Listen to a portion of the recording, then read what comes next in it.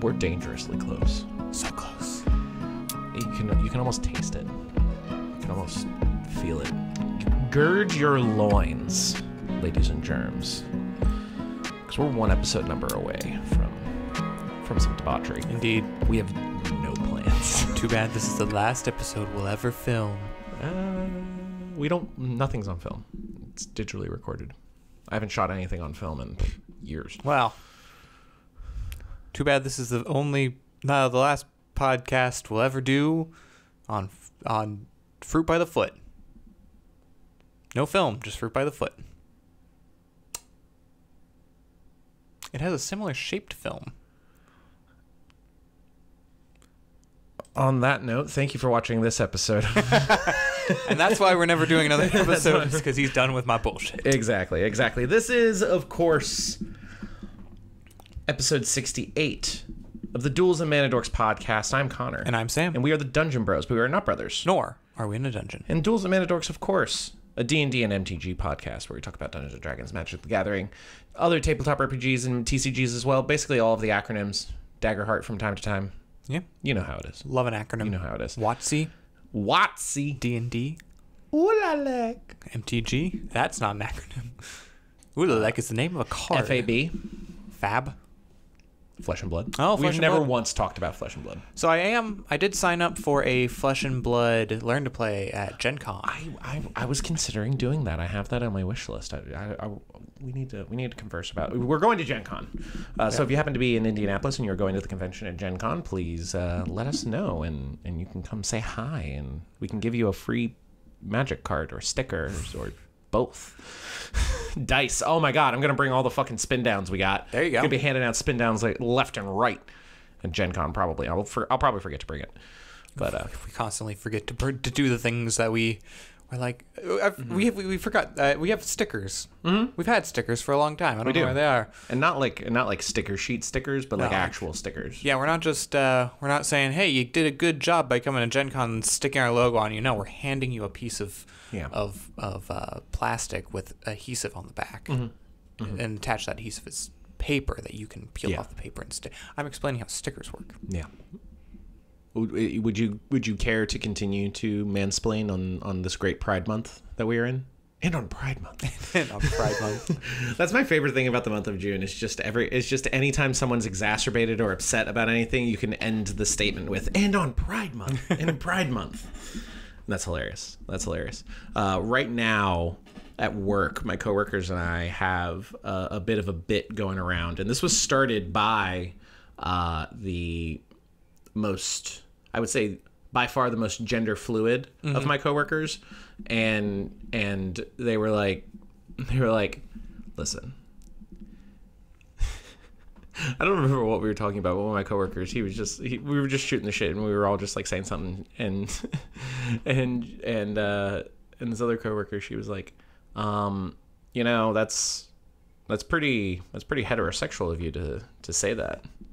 And then I was like, yeah, if you if you're not gay enough, then we're gonna we're gonna have to call the FBI because it's Pride Month, so you got to gay it up a little bit. And he was like, oh, sorry. Uh, I mean, uh, and we're like, you're not helping your cause here, not helping. So now, anytime anyone says anything, it's like, ugh, careful, you need to be more gay.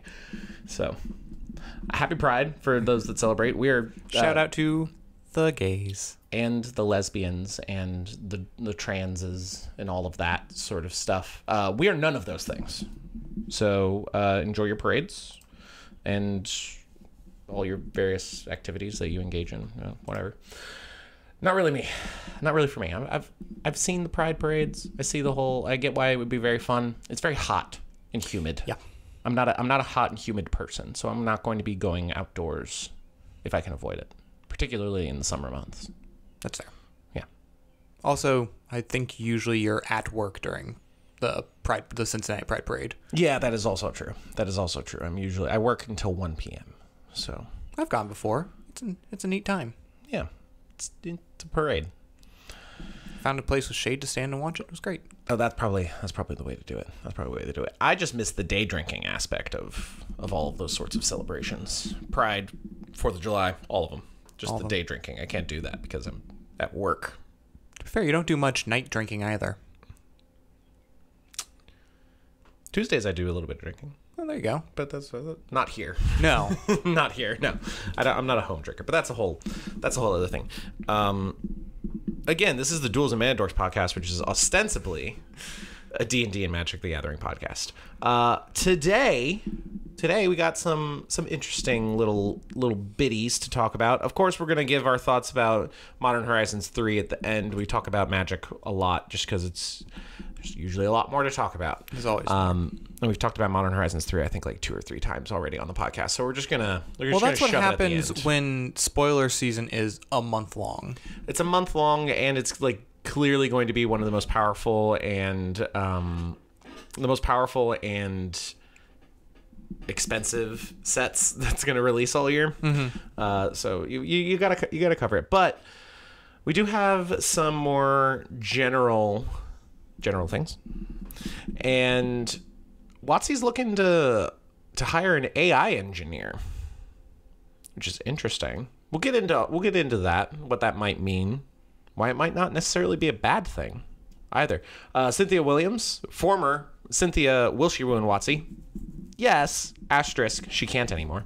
Former president of Wizards of the Coast got a new job as the president of Funko. Yeah.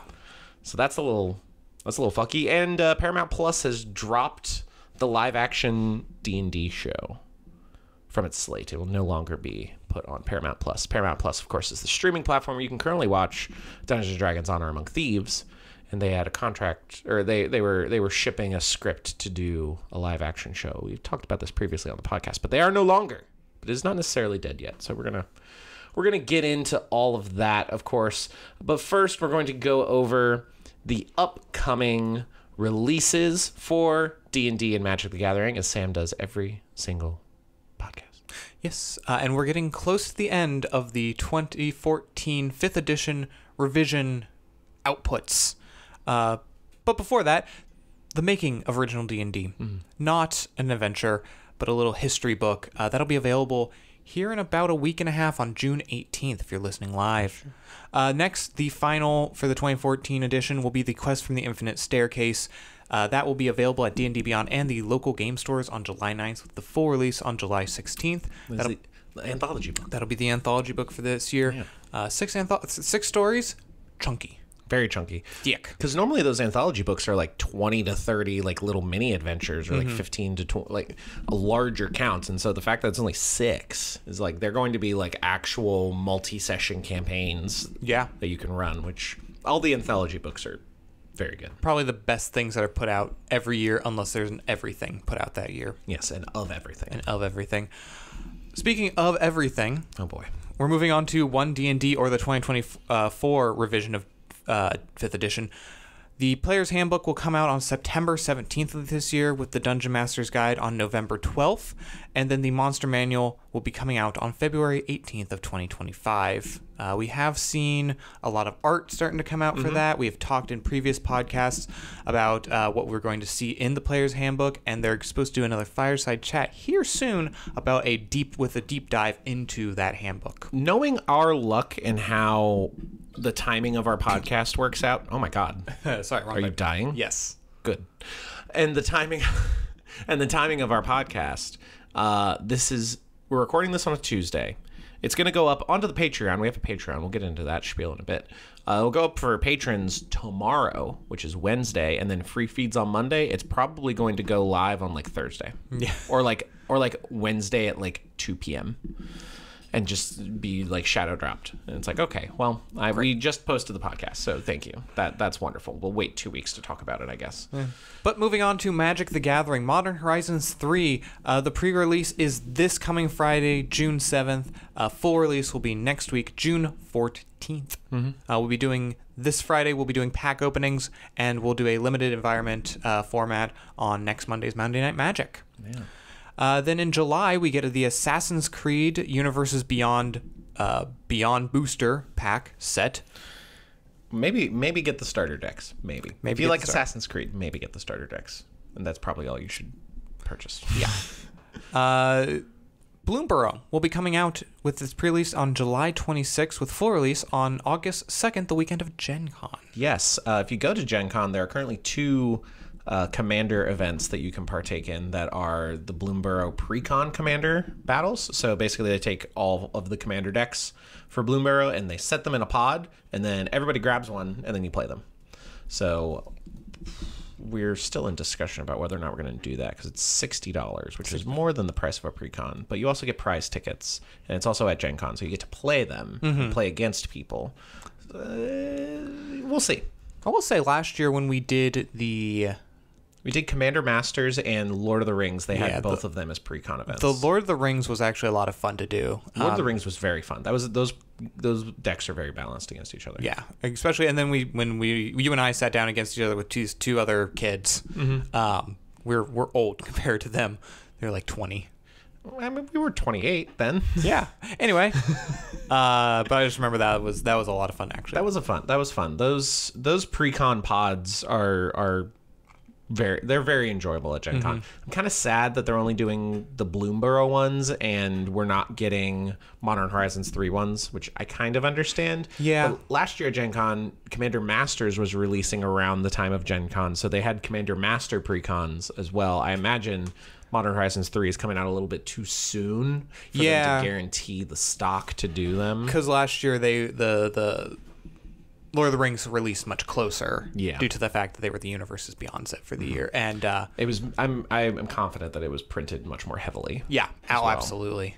Um, but finally, to round out this year for uh, Magic the Gathering, we will have in Q4 Duskmourn, House of Horrors, this kind of slasher flick, mega horror house, uh, House of Horror plane. I saw. Um. I saw a tweet, and I can't remember the specific card, but the Future Sight set. Okay, Do you remember that? Do you know uh, of that set? I'm, I'm, I'm aware of Future Year, years ago, and one of the cards that I can't. Oh, I can't remember the fact. It was a black card. It was one in a black, and then it. It was a whole thing, and people were like, "Oh, is Duskmourn going to be where we get this from?" Because it was like a demon lady, and she had like all these like horrifying like massacred beings behind her and stuff in the art, and they're like, "Oh, this might be where she actually comes from." And I think that's a that would be a cool thing for them to do. I don't I don't really pay that close attention, so I don't know if like some of the cards we talk about or recognize or know from any of these sets are versions of future sight cards. Fair. But I think that would be a cool thing to do. There's a card from Innistrad, um, from I think it's Crimson Vow. It's a white. It's one white, one black, or it's it's a it's an Orzhov, uh, human assassin, and it's just it's this dude who has a like cow mask on and a bloody apron and a machete, and I'm like I kind of expect to see more of that sort of thing in there too. Absolutely, I'm all. I'm. That's much more your vibe than it is my vibe per se. Horror. Horror. Yes, Oh, honestly, no. I thought you were calling me a whore. Do you want to be called a whore? Does that make you feel good? I'm not I playing. mean, I'm more of a. I'm, I'm more of stop a. this line right now. I'm more of a slut man than a than a whore man myself. But I, I do like I I like weird, not necessarily horror. I thought you were gonna say you like being called a slut. uh, but no, I, I prefer like so like uh like paranormal, um, uncanny valley more sort of than hate actual horror. I hate Uncanny Valley shit. Like like uh, Control and uh, Alan Wake. Mm. Like those are more weird, uncanny valley, supernatural things uh, than they are. That's why I, I was. I feel like I was always a little creeped out by things like Attack on Titan because the Titans are like kind of close to anime humans, but Mm. That's not true. really anime humans. So they're Attack on Titan set would be pretty fucking cool. That'd be cool. That'd be really cool. Anyway, also there's Daggerheart. Um,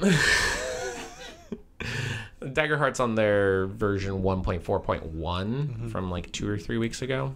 I'm pretty sure they just put out another uh, one shot too. They did. Yeah. They did. They did do another Daggerheart one shot, which is pretty cool. They're very they're pushing that one pretty hard, which makes, Makes sense. It was immediately sold out at Gen Con. Like the moment you could get events, the all of the Daggerheart events were sold out immediately. Um, before we get into the news of the day, of course, starting with the AI job posting for Wizards of the Coast and what that might mean. Uh, this show, the Dual's and Mana Dorks podcast, is supported by you over at patreon.com slash the Dungeon Bros. We also, it's a, It's a facsimile for all of our all of our shit. But if you go there, you can get the podcast early and ad free uh, the following day from when we record it. Otherwise, it will go up to free feeds on the following Monday. So we record on Tuesdays, post them on Wednesdays, and then goes to the free feeds on the following Monday. You can get them early and ad free on Patreon. You can also join the Patreon for free. You can join for free.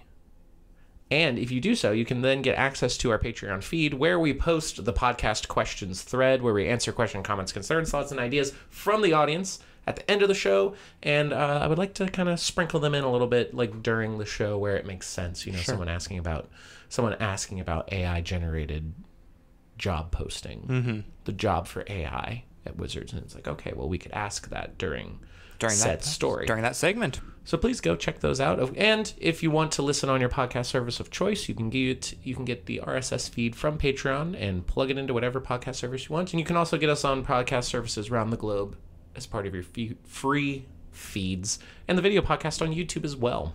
Yeah. There we appreciate a like, a share, a subscribe, and just subscribe. leave us on on mute in the background. Leave, leave turn open up the podcast playlist, mm-hmm. click play, walk away for 6 days.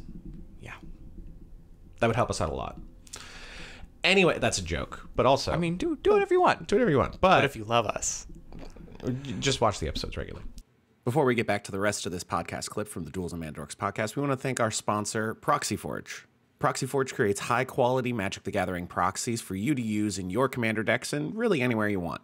You can get custom Magic the Gathering packs that include CEDH staples as well as monocolor commander staples, cycles of expensive cards like Tutors and the Swords. You can also get upgrade packs for Commander Precons that include 10 cards to soup up your favorite Precon. If all you want is a very simple mana base, you can get any of the cycles of lands as well as lands organized by color pairing. And that's not to say anything about the custom art soul rings you can acquire, as well as the plethora of singles available to you.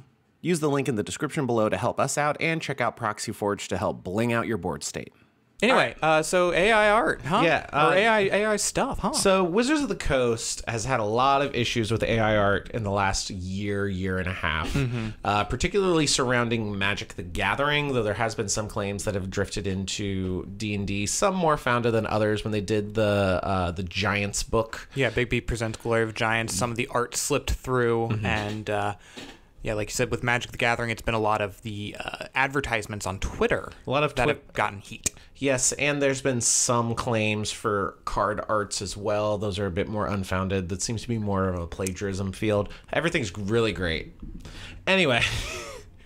Wizards of the Coast has responded after tabletop enthusiasts discovered a job posting related to generative AI on their webpage. Enthusiasts are dismayed and outraged, expressing their dismay and outrage over a job listing for, quote, principal AI engineer that was posted earlier in May. The post asked for, quote, proven experiences with AI slash ML systems in at least one of the following areas simulation, asset creation, and generative content. It also states that the AI engineer would be responsible for designing, building, and deploying systems, quote, for intelligent generation of text dialogue, audio, art assets, NPC behaviors, and real time bot frameworks.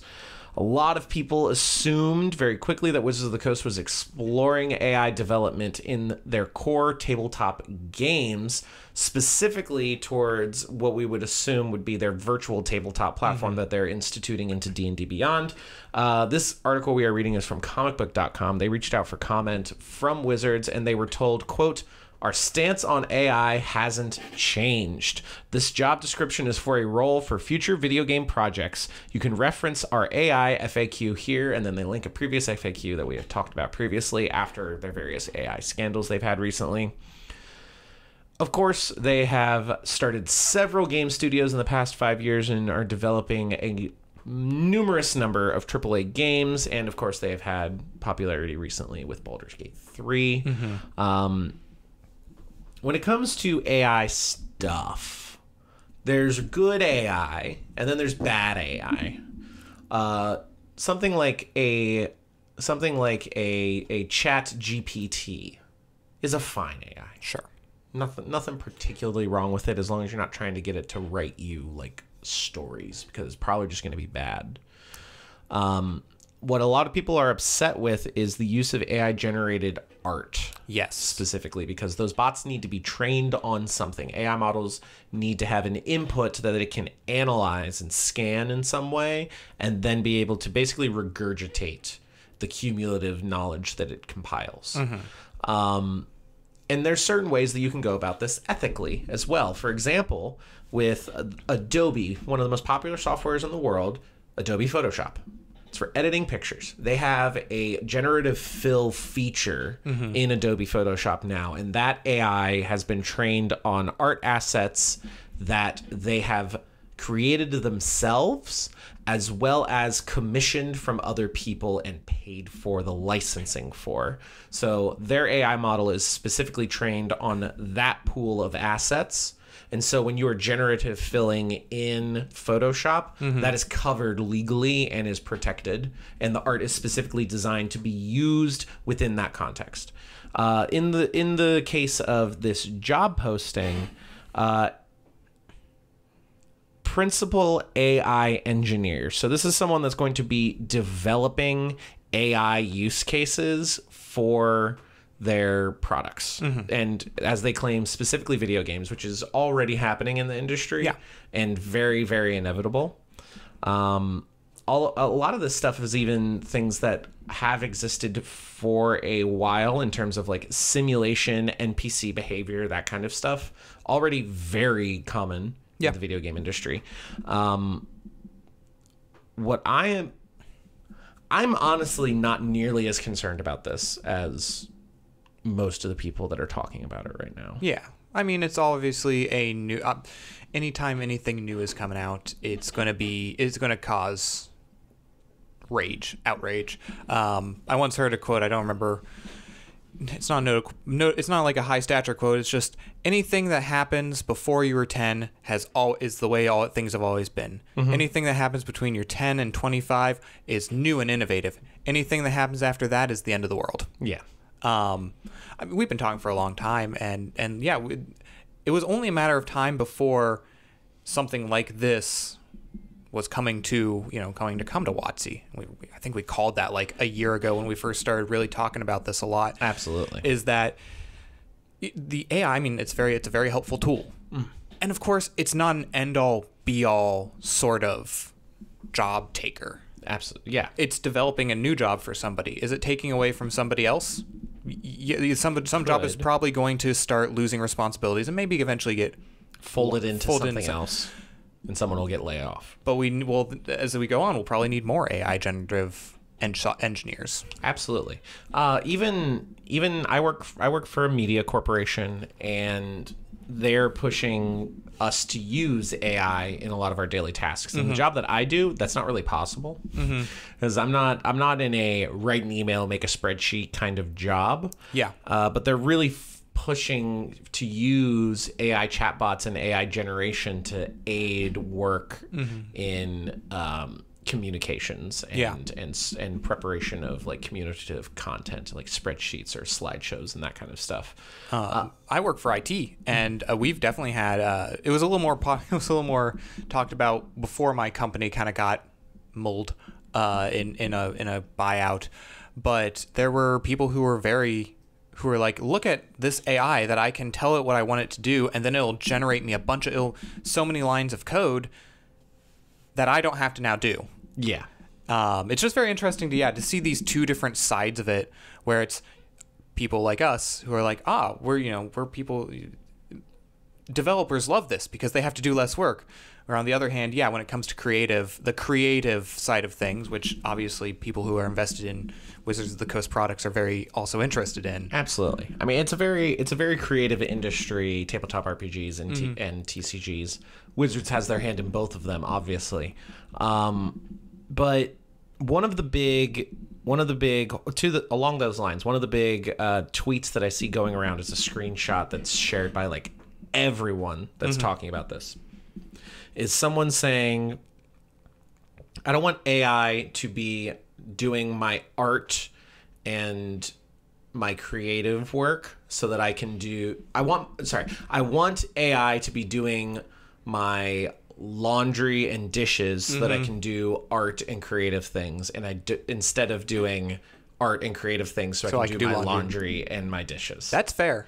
you know so I, I completely agree and i think that is something that's going to be a discussion going forward and possibly even like a future marketing point for creative works be they video games or uh, tabletop rpgs or minis or any anything really of like this is not made with any ai this is all human made stuff um, and that'll be an opportunity for a lot of people but obviously the the the business pros of AI are going to end up wa- outweighing the cons in that in that regard. So, to that end, what are some of the use cases that you would see with AI that would be applicable for WotC in Magic, in D and D, in whatever they've got their hands in that would be both ethical, uh, more publicly acceptable and just kind of generally useful for both them and the industry as a whole.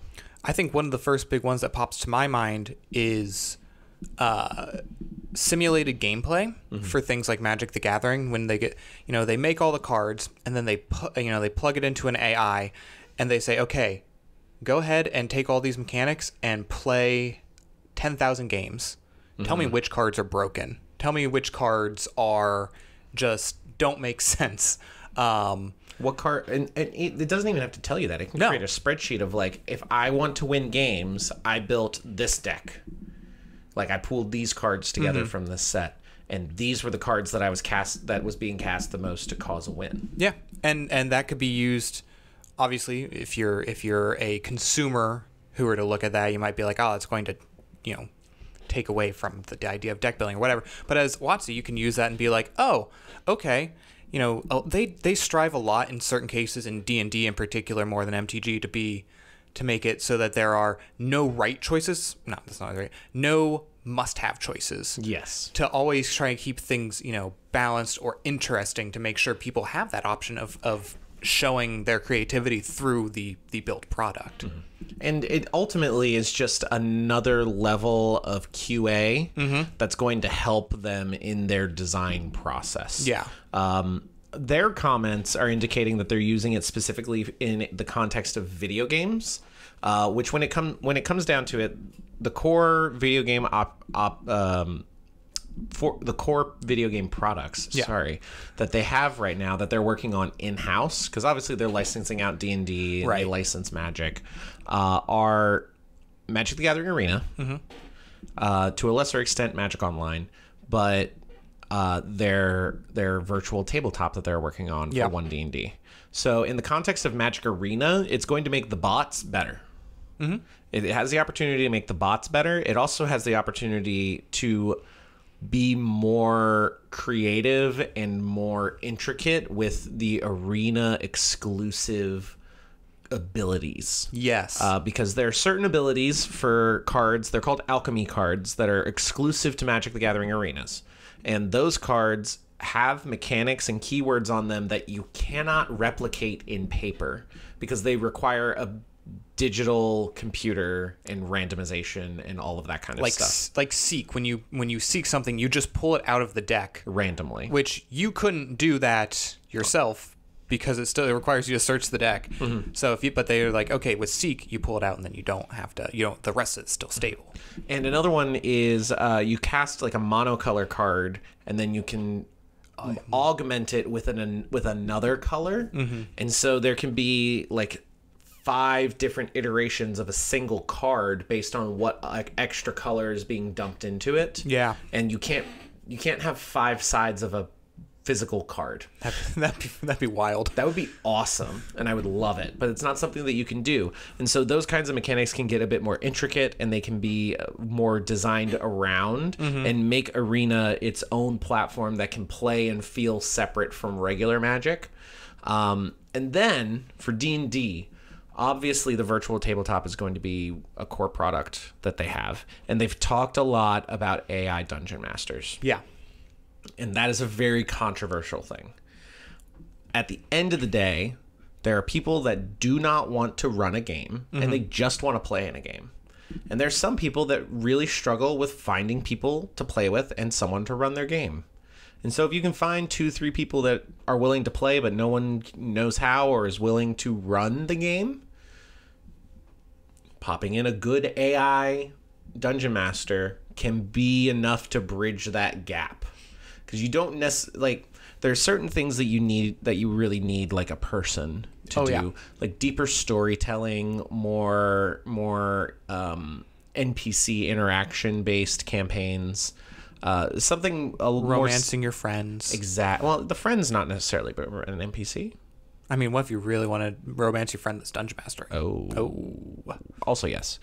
Uh, there's already people that have AI girlfriends. that's true. They, they, there's the apps are all over the fucking place, and the ads are inescapable. Well, yeah. It's infuriating. But the AI dungeon master is going to be really, really good for bridging the gap for combat, for rules adjudicating, um, for handling and giving roles based on player actions. And it's just going to have to come down to how well it interprets what text or audio input is going to be given from the players uh, to actually run. And then the other side of that is as a dungeon master, if you're using the virtual tabletop as a dungeon master, uh, they're already working on it in Unreal Engine. So they're making it 3D, they're adding miniatures.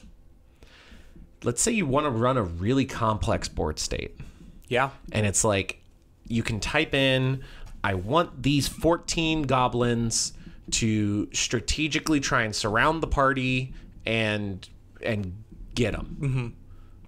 and then the ai can handle the goblins and then you can handle the chief or like a couple of key npcs or like the dragon and its various uh, like little fire newts and shit and little minions and stuff and you can let the AI handle the minions or you can help it to speed up the pace of play by dealing with the rolling and the damaging aspect of it by itself and that kind of stuff. Um, whether or not people are going to go for any of that is the big question mark. I think it's obviously going to be one of those things that evolves over time. Um, I mean, yeah, right now, if if there was if there was that exact option of like, okay, it's very hard for as a dungeon master, as we are we have both played that role many a time, uh, to be like, all right, I have I want to have a either a, a, a complicated or even just a like I want to balance the level of difficulty that my party is going to face. Like not every part now, you know, not every fight needs to be a ten out of ten difficulty. Um, that's the, something I would probably use right now if you offered it to me like all right I can just I can say that I want a medium encounter We using these things and okay you're gonna you you AI we should give it a name um chat D and D Gary, Gary like Garry's mod like Gygax, but yeah, Gary Gygax's mod uh Guy, Gygax AI. Gag, perfect. And I'm like, all right, Gagax AI. Here are, uh, here are, yeah, like you said, a dozen, a dozen goblins. Make it so that this is a medium encounter, and the goblins are medium smart. Um, that way, it doesn't look like I'm pulling any of my punches. That way, it doesn't look like I'm trying. You know, I don't have to think about all their individual attack rolls. I think that'd be pretty cool. I think uh, the biggest advantage for D and D specifically, I think, is going to be just improving the pace of play. Yeah, Because combats are where sessions get drugged down a lot. yeah, Um, especially depending on your DM. So a- any sort of aid will help a lot with that. And I believe there's already a fair number of AI generative tools out there for dungeon masters that are already growing in popularity. I mean, between map building, dungeon building, uh, combat encounter building, Um, story building. hopefully people calm the fuck down a little bit as per usual we all want people to just chill out in general do you have anything else you would like to say about uh, the principal ai engineer that they're looking for over at WotC? Maybe I'll go apply. I probably won't get the job because that is not my that is not my area of expertise. in the slightest and you never know it might it might it might be remote it might pay well Probably remote. hopefully remote They're selling their offices. Oh yeah, that is true. That is true. All right, moving on. We're gonna stay in the realm of D and D for now, specifically live action adaptations of D and D. We previously talked about a live action Dungeons and Dragons series that was being worked on by Paramount Plus, but it is no more. Paramount Plus went to WotC and said, "Nah, nah, not today. Not today. We're not doing it today, bud. Done. Put the axe to it." But it's not dead in the water. Paramount Plus has opted not to proceed with its live action series based on Hasbro's widely popular Dungeons and Dragons fantasy role playing franchise. The move comes almost a year and a half after Paramount stream after the Paramount streamer in January 2023 gave the project an 8 episode straight to series order. At the time, it was a co-production between Hasbro owned E1 production studio which had developed the series and Paramount Pictures. Now shepherded by Hasbro's in house division, Hasbro Entertainment, following E1's December 2023 sale to Lionsgate, the project will undergo a creative update before being taken out to other potential buyers, both production partners and platforms. These changes will include a new creative team. The version which sold to Paramount Plus was from creator Rawson Marshall Thurber, who wrote the pilot script and is set to direct who was set to direct the first episode. He was subsequently joined by Drew Crevello, who came in on board in April of 2023 as executive producer and showrunner. Hasbro, which retains all rights to the underlying material, remains committed to getting a live action Dungeons and Dragons series off the ground as part of a broader universe, which includes the 2023 feature film uh, Dungeons and Dragons Honor Among Thieves, as well as a Broadway Dungeons and Dragons show, The 20 Sided Tavern, which is currently playing. Like Hasbro's entertainment operations, Paramount also has been in a transition with multiple potential buyers circling the company around the 102 year old movie studio of the same name. So things are a little bit in flux with mm-hmm. both of the organizations. It's not entirely surprising. If you want to watch Dungeons and Dragons Honor Among Thieves, you can see it currently on Paramount Plus. They're the current streamer.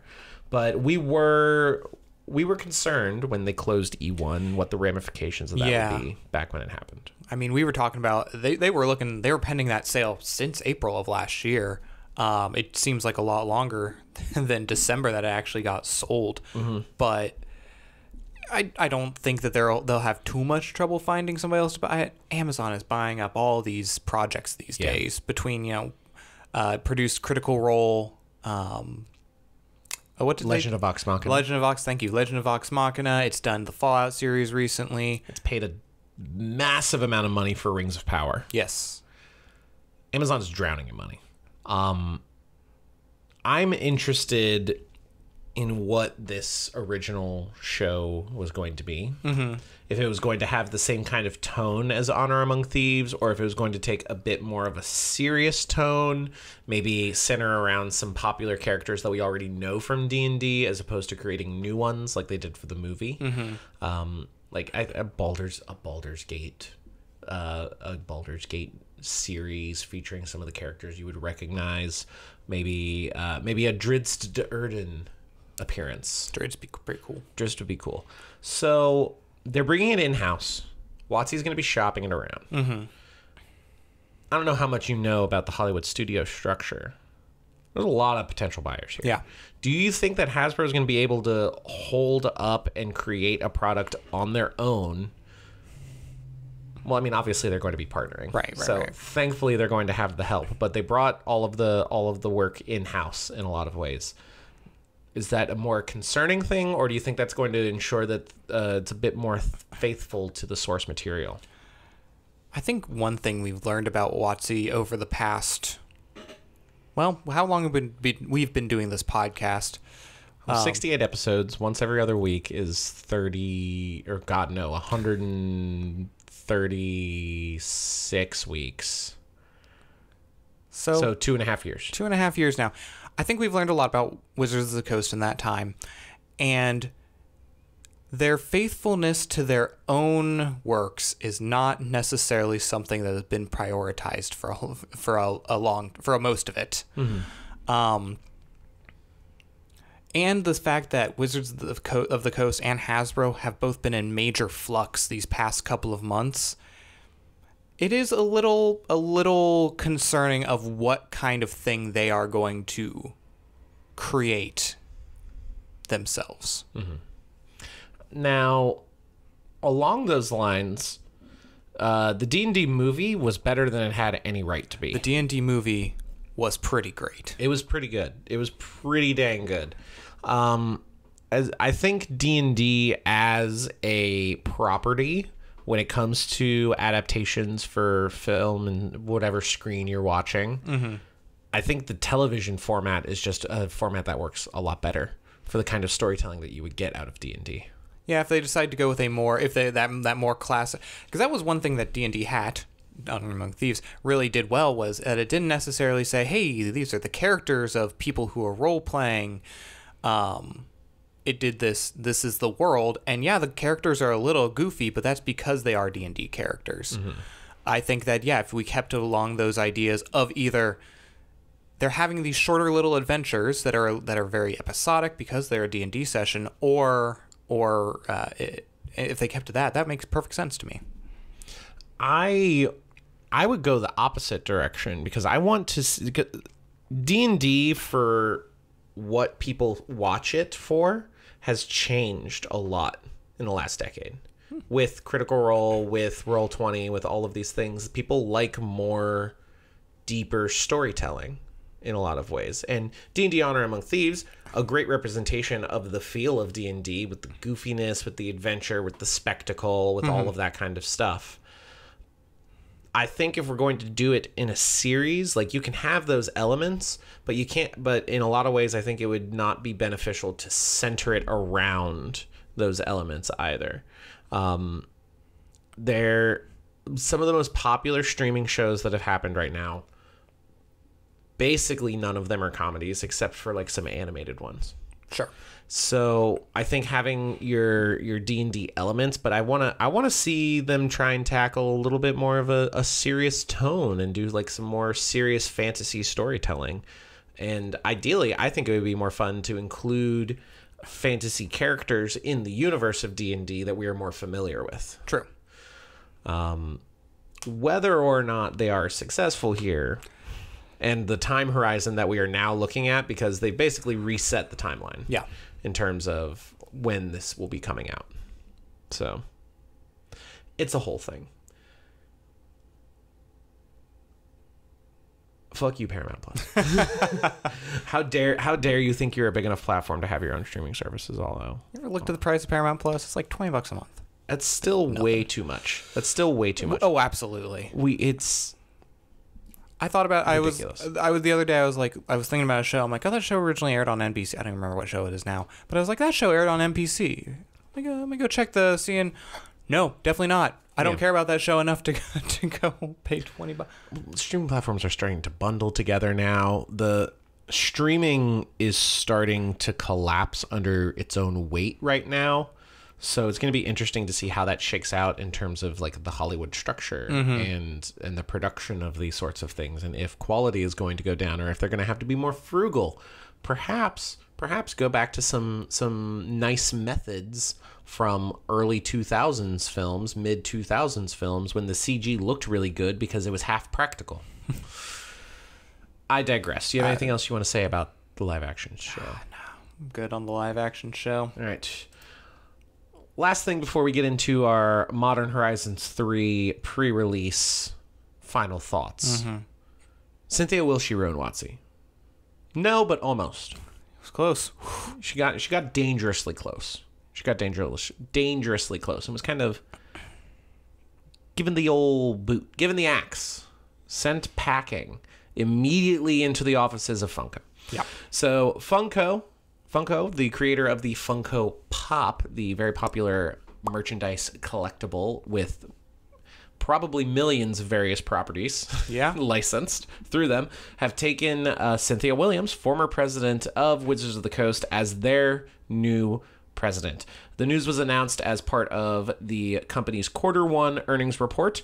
Williams officially starts on May 20th. She started on May 20th and she will leverage experience that she's had overseeing divisions of Hasbro, Microsoft, and Amazon to try and steer Funko back towards growth and profitability.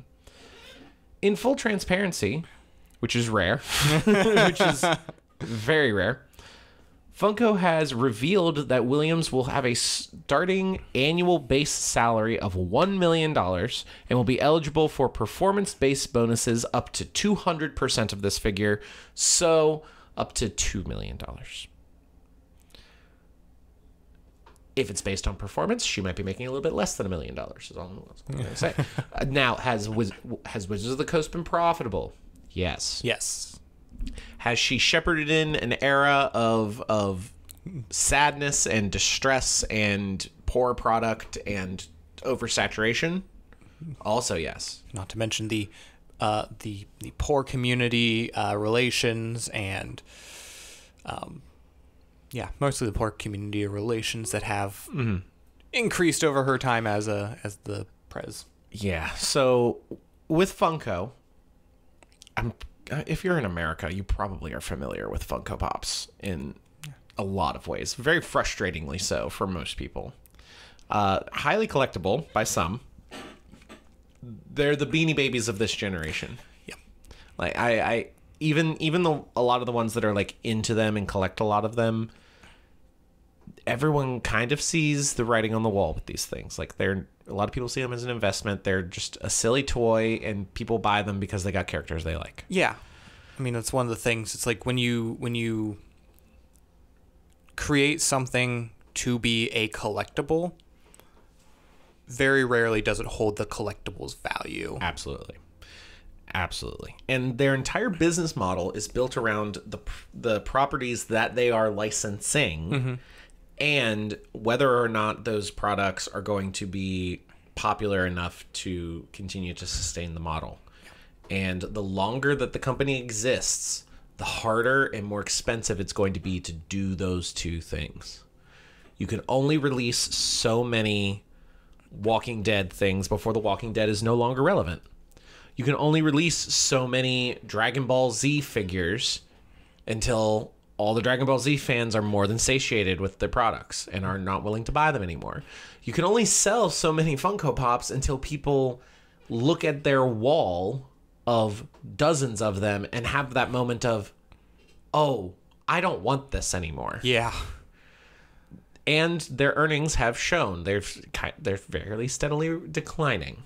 So I don't know if Cynthia Williams is the person I would tap to solve that problem, but uh, this will probably be the last we need to say anything about her for a while, which is nice. Well, yeah. I mean, she's on. She's your problem now, Funko fandom. You can have you can have her, all yours. Um, that being said, I do own several Funko Pops. You, yeah. They sit on our on our uh, on our stairwell down to the basement. Yes, that we have a little we have a little ledge in, next to the stairwell that I have them stacked up on on top of each other. I have some I have one Lord of the Rings one. I've got a lot of Kingdom Hearts ones and some Iron Man as well. You also have a Groot as well. I do. Uh, honestly, half of them were gifts.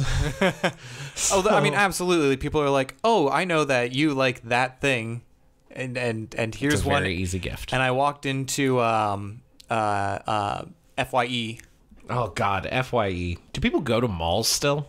Uh, still mall open in in in uh, here in Cincinnati in Norwood. There's also one in Florence, Kentucky, which is a little bit south of Cincinnati. So Everything around the malls, of course, are being knocked down. Mm-hmm. they're well malls are starting to slowly become strip malls because malls needed large parking lots mm, to accommodate all of the people going there and now fewer people are going to the mall in the first place and as such they need to better use that space so they're turn so like on the outskirts of the parking lots they're putting like fucking pf chang's and and uh, uh fucking um generic italian restaurant Buca di Beppo. Buca di Beppo. Thank you. That was literally exactly the one I I was, was like, because you ate there recently. yes, yes, I did. It was pretty good. But like they're they're starting to like form little pockets of things on the outsides of these malls, and so like all the space is being used more efficiently. It's a whole, it's a whole thing. I've got nothing to say. I'm not buying pop uh, Funko Pops anymore. I Lastly, Funko Pop. you've never bought a Funko. I've never bought a Funko Pop. Never owned one.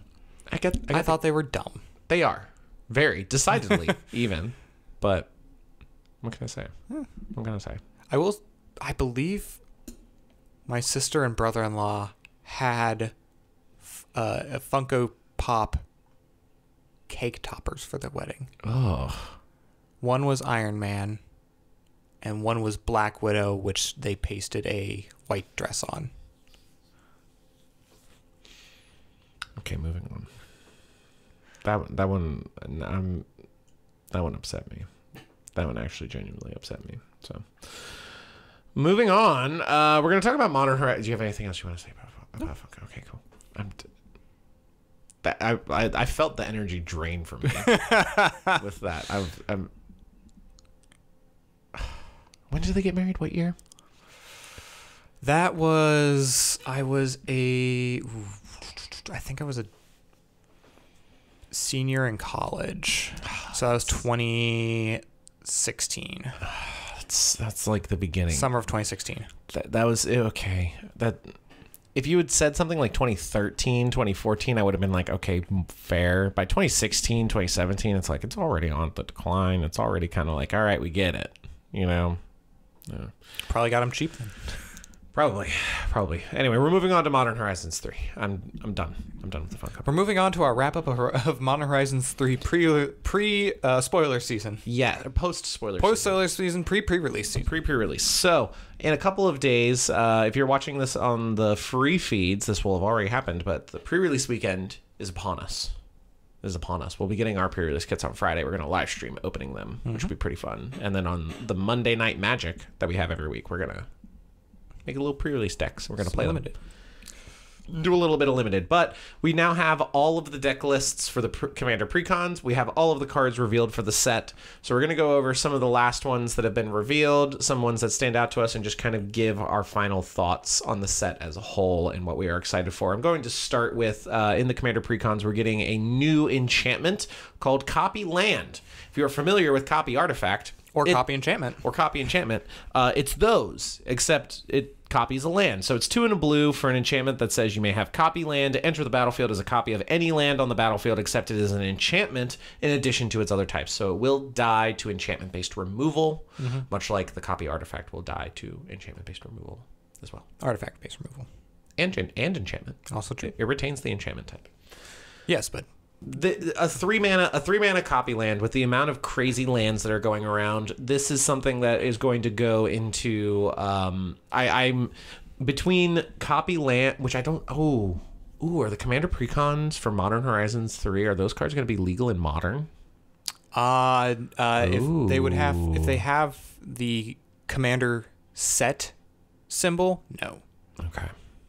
Okay, so Copyland will not be legal in modern. So my my beloved Dark Depths Thespian stage Copyland combo is is no more. How sad. Because if you copy if you copy the Dark Depths, uh, it enters Mm-hmm. with or you may have entered the battlefield as a so ooh, It would enter the battlefield. it would enter the battlefield As a copy of that. as a Dark Depths. yes, so it would have the counters. And it would ooh, and 'Cause one that's an them enter the battlefield Yeah, ability. okay, okay, okay. That doesn't combo how I thought it would. And one of them would die to the legend rule, but that's a whole other thing. Uh, Copyland's going to combo with a ton of things. It's going to be super powerful. It's going to be effectively a three mana ramp spell in Mm-hmm. blue, uh, and you'll be able to ramp to the best land in play at the time. Yeah. You could have you could have a second command tower.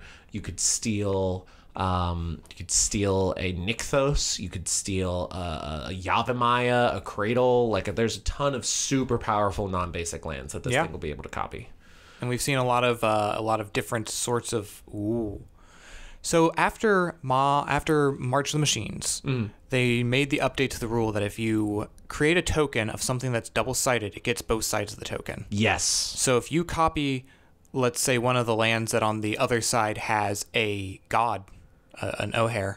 Oh, oh, oh! I don't like that.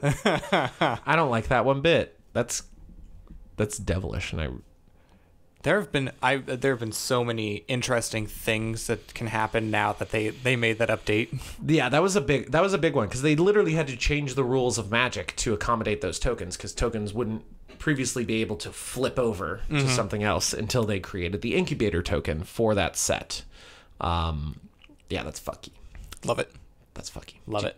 Uh, do you want to talk about your? Sure. Your uh, boy. We have the Benthic anomaly here. This, uh, uh, so a bunch of a bunch of the very popular uh, actual plays, live plays, gameplay uh, series uh, have gotten a hold of the decks early and have released their videos. And so I got to watch the Commander at Home one where somebody cast this Benthic anomaly, six and a blue for a Eldrazi Serpent. It's a seven eight with Devoid. And when you cast a spell for each opponent, choose a creature that player controls. Not target, choose. Uh, creature create a token that's a copy of one of those creatures, except it has the power equal to the total power of those creatures and its toughness equal to the total toughness of those creatures, and it's a colorless Eldrazi. That is a that is a block of text. That is a block of text. Uh, but what comes down to is you now get a copy of one of your p- p- uh, opponent's powerful creatures. So enter the battlefields, any, any any triggers, anything like that. But on top of that, it's likely going to be ginormous because usually somebody at the table also has a ginormous thing. Uh, getting getting a commander table where someone doesn't have a creature of power six or higher, in addition to a powerful effect on a creature that you would like to have. Yeah. In addition to something else that's pretty big, like you're going to have a super powerful ETB, static ability, activated ability, any anything that's going to be attached to a massive creature. Oh yeah, You could you could copy a Rog Rock and then make it a base like 10 10. yeah, easily. You could just grab you could just copy something with four keywords on it and make it huge. Huge, Huge. huge. Gonna be huge. Um what I want to talk about, and this one's actually it would oh, it's got the fucking commander set symbol. Damn it. Damn it, damn it, damn it. Modern modern commander horizons printing cards not legal in modern because this would be another i really like the dark depths as a as a combo the land the dark depths so the mutated cultist is a two and a black for a 1-3 eldrazi horror with devoid making it colorless it also has death touch but more importantly when you cast this spell remove all counters from up to one target permanent or opponent the next spell you cast this turn costs one less to cast for each counter removed this way. So the the the plan in its base level is you cast this three mana thing, you then are able to remove some counters from something, and then more probably than not reduce the cost of your commander, particularly if you were having to recast said commander. Uh, in the context of a Dark Depths situation, uh, which has ten ice counters on it, you can remove all 10, so you're going to get your 2020 Marit Lage token Yep. with Indestructible, which is pretty cool. And you're now going to be able to cost something that will cost or cast something that will cost 10 less. Like uh like a Ulamog. Yeah. Or a or a or a Wow, can you imagine casting a an Any Ulamog the- for a one mana? literally like any of the big Eldrazi. Like I could see if this were legal in modern. It's not legal in modern. I'm so furious.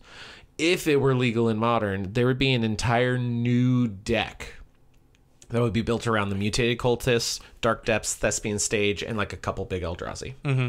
And that would be the core strategy of the deck: is getting your mutated cultist out to wipe your uh, Dark Depths and get your Marit Lage, and then be able to free cast a big Eldrazi. Because even once the Marit Lage comes out, there are ways to come back from that. If you're coming, if you're trying to fight against a 2020 Marit Lage and an Eldrazi Titan, Yeah. like you're kind of fucked, regardless of what you're trying to do. Because the Eldrazi is going to fuck up your board state, fuck up your hand, fuck up whatever you're trying to do, and then you got a 2020 Indestructible Marit Lage.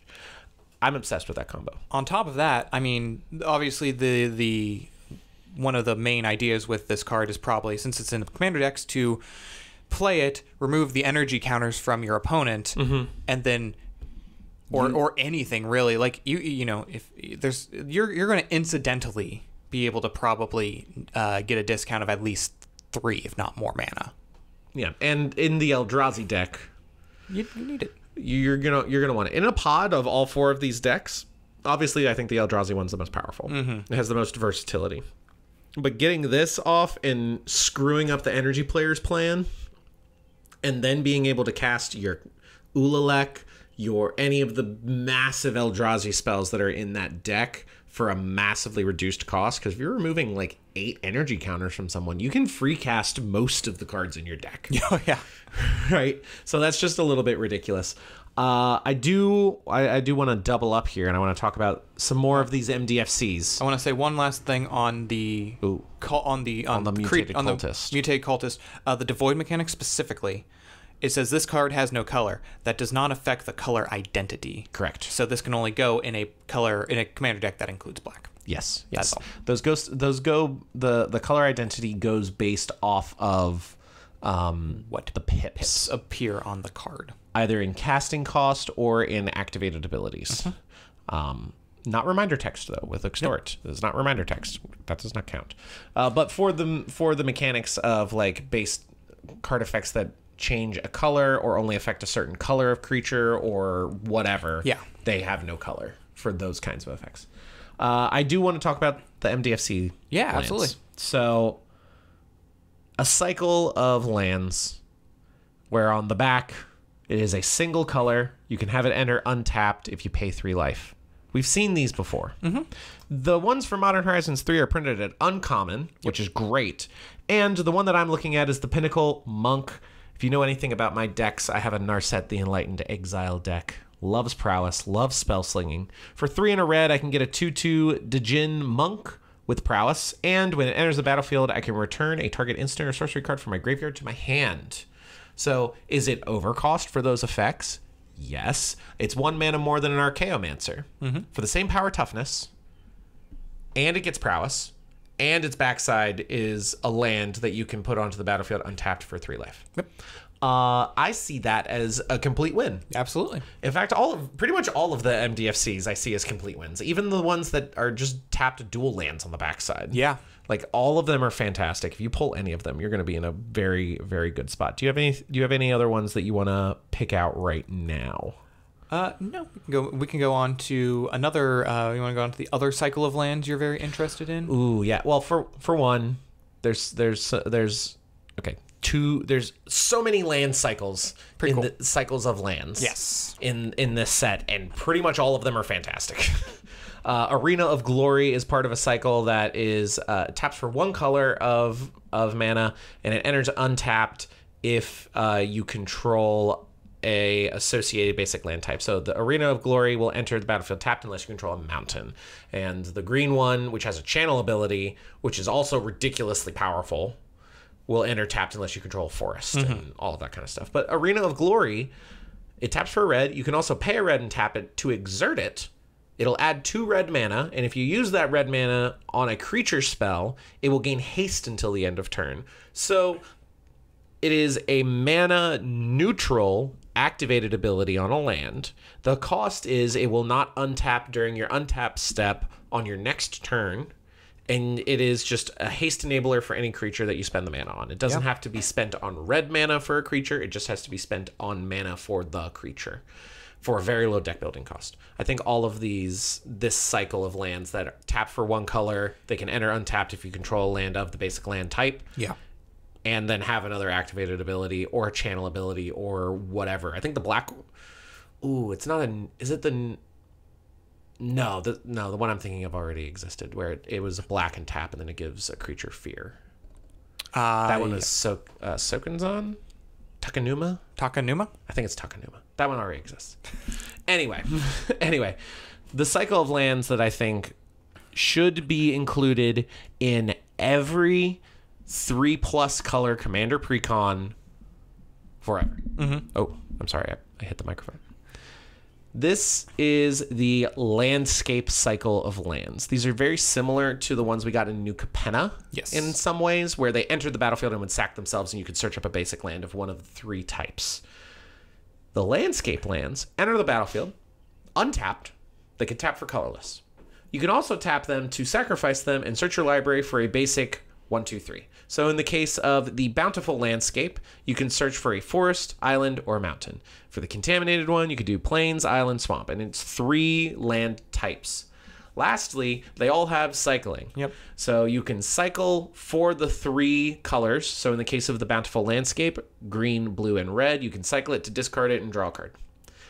Uh, because of the cycling, which is probably why they added the cycling in some way, uh, they can only go in decks that have those colors. Yep.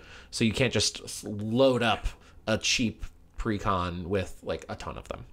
However, if you're playing in a limited environment, Oh. uh, like we will be next Monday, as long you know, even if you have two of them, two of those colors, or or if you're playing a a, uh, a deck with um, three or more colors. three or more colors, or just a, a two color deck. Colorless. Colorless, uh, absolutely. In a deck that is very, or in a, a format that has a lot of colorless matters, um, all those Eldrazi want need you to have uh, colorless in either their casting cost or maybe an activated ability, Or they need 10 of them. or they need ten of them. Uh, but yeah, these are super cool. It makes sure that you're not going to feel like you're missing a land drop, mm-hmm. which that that's one of my biggest problems, and I think we experienced this when we started playing Commander, was the big precon staples, your Evolving Wilds Myriad Landscape. Yeah, Myriad Landscape enters tapped. It can tap for colors, but it enters tapped. And so you feel like you're missing a land drop. Evolving Wilds can only be tapped to sacrifice and then get a tapped basic into play. Yeah. Which feels like you're missing a land drop. These have the ability to search for a basic of the color type that you choose and it will enter tapped. But they can also enter untapped and you can tap them for colorless. And if you draw it late game, you can spend three mana, which is a lot, to cycle them away to get a new card. Mm-hmm. Like these these this cycle of 10 lands is so so good and it is printed at common they're pretty much all going to be less than a dollar. And it's a cycle that could very easily be put in commander precons across the board where the colors identity fits. It's going to feel good. It's going to feel efficient. It's going to be inexpensive. It's going to be a casual staple. And i am thrilled by that. I love all of these abilities. I will say it also intra- uh, includes so um, loading ready run gets to do a pre pre release where they get to do a pre release the week before the pre release, uh, and they were talking about this on their on their podcast and I was listening. It presents first off, yes, off, uh, for for uh, for precon environments. It's a very, very new player friendly. It, it uh, you know introduces you to three mechanics basically right off the top. They're very easy to understand. But then when you're when you get a little hi- uh, higher, then it also still keeps you in that realm of thinking, okay, I played this, but on this turn, is it better to tap me for mana right now, or can I, or should I go get that that color fixing that color fixing my deck a little bit. Yeah, it I love cards that l- offer both sorts of it gives you level of thought. it gives you options and all of the options are equally useful in different situations Yeah. and it's incumbent on you to determine which situation those cards are going to perform the best in and that makes gameplay interesting Yes. that makes that makes you have to think a little bit and it's not just a, like a oh well, and i love i love the neon dynasty channel lands mm-hmm. there's no deck building cost to them it's like if i need a land i'll play a land if i don't need a land i got a spell in my hand that can't really be countered because it's an activated ability Yeah. It, it's very low deck building cost. These have very low deck building costs, and they have versatility, and they make you think a little bit, and it's just so good. I love that they're printed at common. I hope, hope, hope that Gavin Verhey is like, yes, we're putting these in all of the fucking three, four, five color precons that we make forever. Yeah. They're they're going to be cheap. They're going to be easy to slap into anything. They're going to be useful in anything. Do it. If not, open up a do it. Open up a bunch of packs. You're probably going to get like 12 of them. Yeah. So that's the whole thing. Do you have anything else you would like to say about Modern Horizons 3? Um, I'm I'm excited to open up some cards this weekend. There's just so many. One, not only just good, powerful, high end cards, but also like the fucking commons are ridiculous. The commons are good. The uncommons are good. Like the the landscape lands, they're Pauper legal.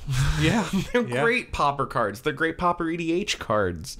Like the the uncommon cycles of dual faced lands are ridiculous. You get two color ones, you get monocolor ones. Like it's it's all so good.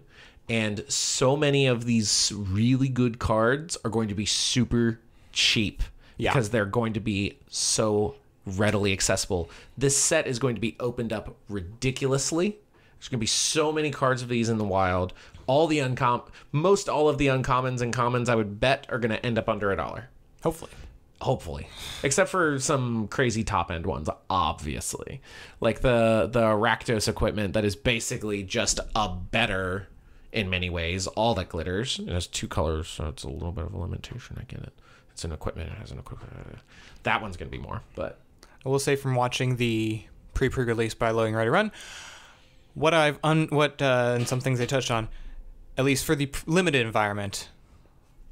A lot of sacrifice, uh, uh, sa- uh, sacrifice for benefit. Very, very uh, a lot of through through lines in this set. Also, uh, pay attention to your energy Yes. because not every card that has energy printed on it is necessarily an energy deck card or not exclusively an energy deck card like we looked at the Chthonian, Nightmare has no energy on it you can play that in any deck really yeah. Because you can use the energy it produces on its own effect. Yeah. And it's basically just like if you happen to be running energy, the effect is better. yeah If not, the effect is still pretty good. Uh, also, I want to build a Nadu Winged Wisdom deck as my first Simic deck. first fair. So that'll be that'll be fun. Excuse me. That is all we have for Modern Commander Masters Horizons Three. We.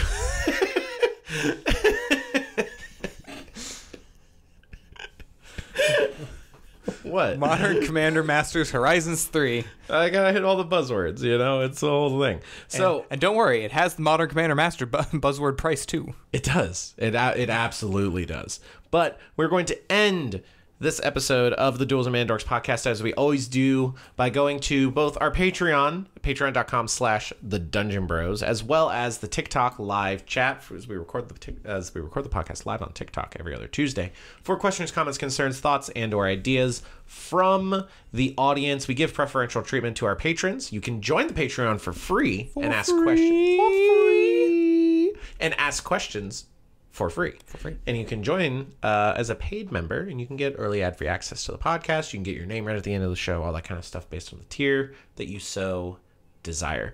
From the Patreon, we got Brandon who wants uh, some thoughts on Eldrazi. Are they too powerful? And he says, Do we leave if someone pulls that deck out? No. Do we get upset if someone pulls that deck out? We have one friend who plays a, a souped up Eldrazi precon from Commander Masters.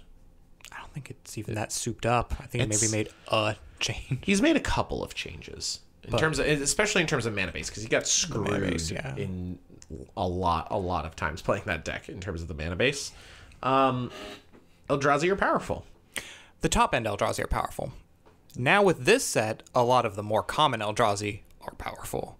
Because if you look at some of the older Eldrazi, um, they have very weird abilities. Like, and when this enters the battlefield, you may put a card an opponent owns in exile into their graveyard. If you do, draw a card. And it's like that's on a five mana thing. That's not it's got some utility. It's not most of the time. It's going to be like, oh, they had to exile this thing off of a uh, off of a swords to plowshare earlier in the game. Yeah. sure, have it back. But yeah, now the ones that are coming out here, like I mean, we just talked about several.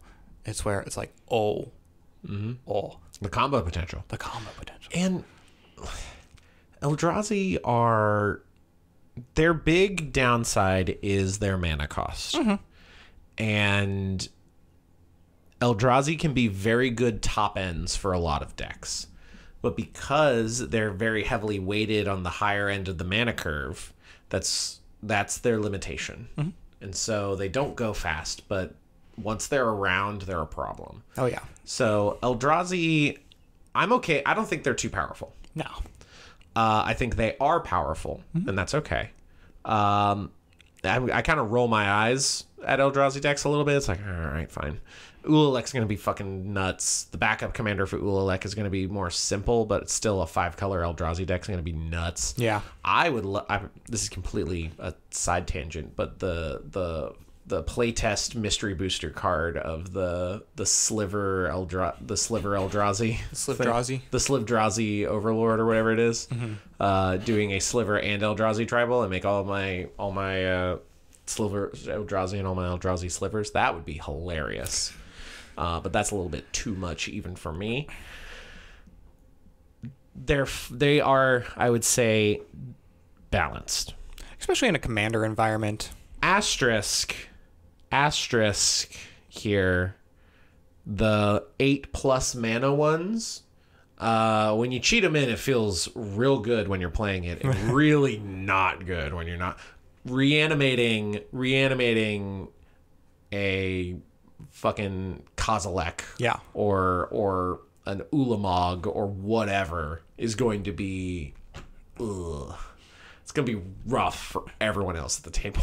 Yeah, uh, but it, uh, and uh, of course the reason that they are featured in Modern Horizon Three is because they've been a very popular thing in Modern. For Mm-hmm. That's that true. reason of like, yeah, you get them out, you're whoo, you're ending the game. In Commander, little less so because You got three, you got three players. you got three players. a lot of interaction. every hopefully. and every arc or not ar- eh, yeah archetype or playstyle has something on that top end whether Mm-hmm. it is a, a big you know 12 mana bomb or it's i built this one mana thing up to be a million power fear me sort Mm-hmm. of idea Oh my god, that's what I love about like uh what is it, Raga Draga? The like the go uh, the yeah buff big big buff mana dorks and then top end good shit. Mm-hmm. That's what I like about my uh my rule zero partnered vampire commanders is that I can get you can get the token generator, you can do the whole thing, and then you got the top end reanimator that makes things very powerful. We'll get working on a YouTube video for that still.